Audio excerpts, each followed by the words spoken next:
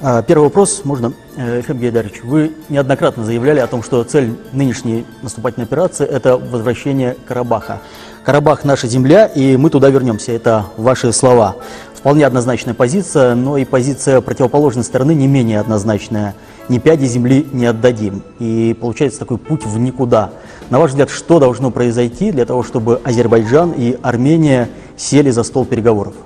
В первую очередь должны быть выполнены четыре резолюции Совета Безопасности ООН, которые были приняты в 1993 году, в период, э, когда армянские оккупационные силы захватывали территорию Азербайджана. Эти резолюции очень четко посылают сигнал агрессору, и там написано, что должен быть обеспечен немедленный, безоговорочный и полный возврат оккупированных территорий. Тех пор прошло 27 лет. Э, армянская сторона эти резолюции не выполняет, их игнорирует и всячески э, пытается заморозить конфликт как можно больше, как можно дальше. И все призывы международной общественности, в том числе стран-сопредседателей Минской группы ОБСЕ, о том, что статус-кво неприемлем и должен быть изменен, остаются в воздухе. Поэтому наша позиция основана на нормах и принципах международного права, на исторической справедливости, в то время как армянская позиция основана на исторической лжи и нарушении норм и принципов международного права. Как только резолюции Совета Безопасности ООН будут выполнены Арменией, как только Армения даст согласие на вывод своих войск с оккупированных территорий, э, уверен, что за короткое время обе стороны могут прийти к соглашению, которое установит мир на Кавказе. Уже больше недели идут бои, и судя по видео, которое распространяет как одна сторона, так и другая, э, понятно, что бои интенсивные и очень тяжелые потери. Можете ли вы назвать эти цифры с азербайджанской стороны? С нашей стороны в результате артобстрелов э, со стороны Армении и со стороны Нагорного Карабаха на утро сегодняшнего дня погибло 27 мирных жителей, и более 170 мирных жителей получили ранения различной степени, и разрушено более 800 домов. А, нынешняя эскалация а, противостояния началась 27 сентября, когда со стороны оккупированных а, территорий начался артобстрел населенных пунктов Азербайджана, а также наших боевых позиций – в результате которого в первые же минуты этого нападения погибли мирные жители и военнослужащие.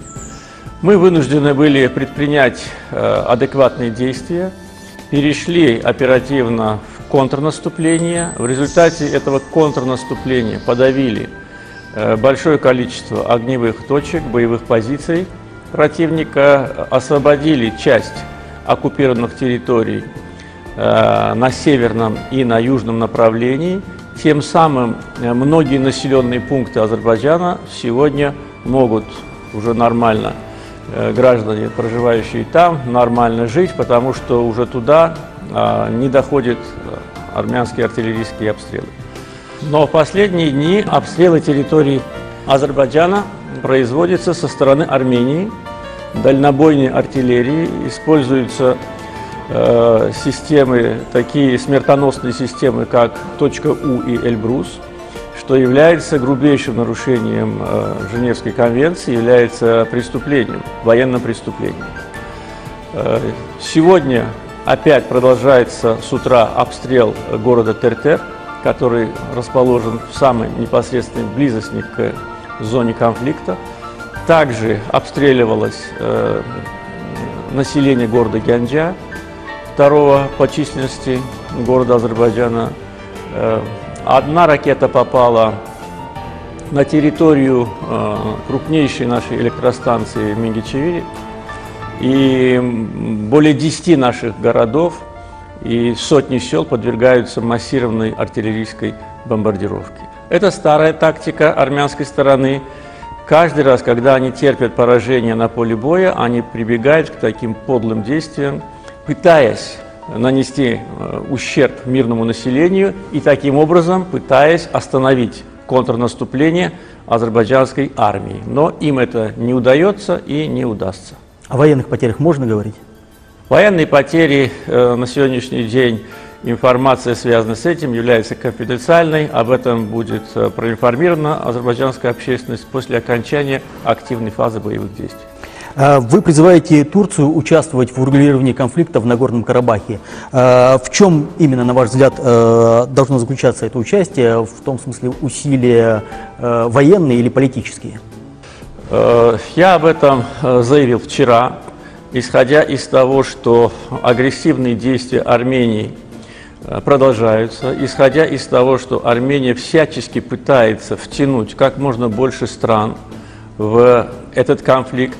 И я э, говорил в одном из интервью о недопустимости такой политики. Э, конфликт не должен выходить за пределы Армении и Азербайджана. Э, на самом деле конфликт даже не выходит на территорию Армении, поскольку, несмотря на артобстрелы с армянской территории, мы по территории Армении никаких э, ударов не наносим, на территорию Армении не переходим, хотя все возможности для этого есть. Армянская сторона пытается втянуть э, э, в это противостояние ОДКБ, безуспешно, пытается втянуть европейские страны и по существу пытается интернационализировать этот конфликт, чему мы, соответственно, предъявляем свою позицию о недопустимости такого подхода. Что касается моего заявления о вовлеченности Турции, я имел в виду, естественно, только политическое урегулирование, постконфликтное урегулирование. На данный момент Турция никоим образом не является вовлеченной стороной в конфликт, несмотря на разного рода слухи и инсинуации на этот счет, не подкрепленные никакими фактами, как то, что турецкий F-16 сбил армянский Су-25, и эта новость гуляла как и по российским СМИ, и по, так и по европейским. Ни одного доказательства нет, и выяснилось, что армянский пилот просто, видимо, был не совсем профессионально подготовлен и врезался в гору. Вот такие вот фейковые новости вбрасываются. Я не знаю, с какой целью, могу догадываться, но они не имеют под собой никакого основания. Так вот, когда закончится э, фаза военного противостояния, естественно, мы вернемся за стол переговоров. И, кстати, Азербайджан э, с самого начала э, боевых действий говорил, что мы э, не выходим из переговорного процесса. Мы э, рассчитываем на политическое урегулирование, но оно должно быть урегулированием. Мы не можем еще 30 лет сидеть и ждать, когда э, на Армению будет оказано соответствующее воздействие. Безусловно, Турция как э, великая страна, как э, наш сосед, сосед э, на Южном Кавказе, имеет полное право принять участие в посреднической миссии, которая э, будет осуществлена по окончании активных боевых действий. И с учетом того, что нынешняя посредническая миссия на протяжении 28 лет – не привела никаким результатам, а привела либо бездействие к тому, что мы имеем сейчас, конечно, мы должны э, исходить из э, прагматического подхода. Кто может реально оказать позитивное воздействие на события в регионе для снижения эскалации, для установления прочного мира, для развития сотрудничества. И, конечно, в первую очередь, я считаю, это Турция и Россия. Вы сказали о европейских странах, и вы очень жестко ответили президенту Франции, призвали его принести извинения за слова о наемниках, которые сражаются на стороне азербайджанской армии. Можете ли вы сегодня еще раз подтвердить, что наемники не участвуют в конфликте в Нагорном Карабахе на стороне Азербайджана?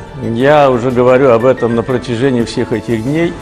Э, я удивлен таким информационным вбросом и э, в моих э, телефонных разговорах с президентом Франции я достаточно аргументированно отстаивал нашу позицию. Во-первых, просил представить доказательства, а если этих доказательств нет, то принести извинения азербайджанскому народу. Во-вторых, говорил о том, что мы в наемниках не нуждаемся – и сегодня азербайджанская армия – это э, мощная армия. По всем международным рейтингам она входит в 50 самых мощных армий мира. Э, у нас под ружьем находится 100 тысяч э, бойцов. не считая резервистов, не считая других военизированных формирований, готовых к бою. И сегодня азербайджанская армия освобождает наши территории. И видео э, с места боевых действий показывают, как работает наша артиллерия, э, как работают э, беспилотники, э, как э, азербайджанские солдаты и офицеры водружают флаги на освобожденных от оккупации землях. Поэтому эти э, обвинения голословны, и мы их решительно отвергаем, и э, не можем допустить, чтобы э, вот такие вот слухи, непроверенные данные, как-то манипулировали общественным мнением. Пусть представит доказательства. Сегодня идет десятый день активных боевых действий, никаких доказательств нам не представлено. Если предположить, что боевые действия завершились и Азербайджан добился поставленных целей, э, какое будущее ждет Карабах, учитывая то количество армян, которые там проживают, что будет с ними? Я на эту тему также говорил и раньше, и до э, эскалации, и во время эскалации неоднократно. Не далее, как вчера, в интервью э, турецкому телеканалу я говорил, что мы рассматриваем армян, проживающих на территории Нагорного Карабаха, как своих граждан. И считаем, что после урегулирования конфликта, после того, как будет положен конец оккупации, армянское, азербайджанское население Нагорного Карабаха должно жить вместе, как это и было э, на протяжении многих лет. И когда э, конфликт начался в конце 80-х годов, тогда на территории Нагорного Карабаха 75% э, составляло армянское, а 25% азербайджанское население. И город Шуша, где они проводили так называемую инаугурацию ихнего главаря преступного режима и нанесли оскорбление азербайджанскому народу, на 98% состоял из азербайджанского населения. Город Шуша был основан азербайджанским ханом Панахали. Это древний азербайджанский город, э, откуда все азербайджанцы были изгнаны. Так вот, после окончания э, конфликта после мирного урегулирования, и это, кстати, отражено в базовых принципах, которые называются мадридскими принципами, азербайджанское население должно вернуться на оккупированную территорию. Там четко написано, что все перемещенные лица имеют право вернуться в места своего проживания. Таким образом, после того, как будет достигнуто мирное соглашение, а я надеюсь, что это произойдет, э, тогда азербайджанцы возвращаются в Нагорный Карабах и э, будут жить там, там, где и жили. И моя позиция всегда и заключалась в том, что мы должны э, вернуть вот ту атмосферу, которая существовала до начала конфликта в конце 80-х годов. Я думаю, что это возможно. Это будет не просто после того, что армянские палачи устроили в Ходжалы, уничтожив мирное население после того, как они разрушали наши э, исторические, религиозные памятники, стирали историческое наследие азербайджанцев с этих территорий, это будет нелегко. Но я считаю, что мы к этому должны стремиться. И мой призыв к народу Армении и к тем, кто проживает сейчас на Горном Карабахе, неоднократно звучал в дни боевых действий. Я призывал армянский народ образумить свое правительство, призывал армянских матерей не отправлять своих детей э, на оккупированные территории, потому что, э, наверное, сейчас ни для кого не секрет, что так называемой армии Нагорного Карабаха не существует. То, что называется армия Нагорного Карабаха, состоит на 90% из граждан Армении. Так вот, эти призывы я делал. С армянской стороны я таких призывов в эти дни не услышал, кроме ненависти, кроме агрессии, кроме угроз и кроме совершенно неадекватных действий. Наша позиция такая, мы э, за мирное урегулирование конфликта и уверен, что э, при наличии политической воли со стороны Армении мы сможем этого добиться. Михаил Гайдарович, э, все войны, любая война рано или поздно заканчивается миром. Как вы себе представляете этот момент? Знаете, трудно об этом говорить, потому что наш народ пережил столько горя, столько страданий, которые нанесли ему армянские оккупанты, то представить этот момент сейчас какой-то одной картиной очень трудно. Э, мы э, не имеем мира э, более 30 лет. То, что мы имели за последние более чем два десятилетия, это перемирие. Но все понимали, что оно не устойчиво, оно не прочно. И поэтому сопредседатели Минской группы в лице президентов России, США и Франции несколько лет назад выступили с заявлениями, их было не одно заявление такого рода, что статус-кво неприемлем, он должен быть изменен они прекрасно понимали и понимают, что это перемирие очень хрупкое, оно неустойчивое. И вот э, сегодняшняя эскалация это еще раз подтверждает. Поэтому, если говорить о мире, то в первую очередь э, я вижу его как политическое урегулирование, которое бы э, было всеобъемлющим, которое бы было долгосрочным, вечным, при серьезных гарантиях ведущих стран мира, тех стран, которые будут приемлемы как для Азербайджана, так для Армении. И э, я не исключаю, что вот, э, состав этих стран может быть иным, нежели сегодня состав Минской группы и его сопредседателей, потому что Минская группа была создана в 1992 году в совершенно других геополитических реалиях. Это было время только после развала СССР, и, честно говоря, я не очень понимаю, на какой основе эта группа была создана. Э, потому что э, должен быть какой-то принцип, на каком создается то или иное объединение или временный формат. Поэтому думаю, что, э, возвращаясь к тому, о чем мы с вами говорили ранее, активное участие региональных держав, гарантии международных организаций – и э, возврат, конечно, азербайджанцев на те земли, которые им по праву принадлежат. А, уточняющий вопрос, какова конфигурация может быть, на ваш взгляд? Вот? Ну, это, наверное, преждевременно об этом говорить. Я думаю, что и так, э, немножко забегая вперед, просто хочу, чтобы наши соседи и партнеры знали мою позицию. Думаю, что э, региональное э, сотрудничество уже достаточно себя проявило – во многих сферах.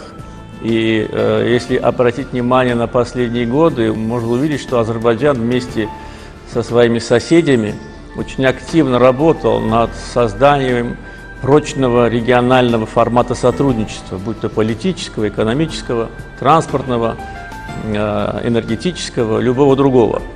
Но достаточно только посмотреть на достижения, которые мы добились после многих лет, подписав Конвенцию по урегулированию правового статуса Каспийского моря. Пять прикаспийских стран практически с начала обретения независимости э, некоторыми из них не могли договориться. Но потом, проявив добрую волю, мы к этому пришли и увидели преимущество. Сегодня э, сотрудничество между э, великой державой э, Россией и великой державой Турции, которая является членом НАТО, намного более искренние, прочные, эффективные, чем сотрудничество страны НАТО Турции, скажем, с другой страной НАТО, которая постоянно Турцию в чем-то обвиняет. Это же новые геополитические реалии. Этого же не было в 1992 году. Мир изменился, он меняется на наших глазах, и мы должны исходить из этого, а не из каких-то догм, не из каких-то Э, предположений или же устоявшихся мнений, что вот та страна имеет потенциал решения, эта страна имеет потенциал решения.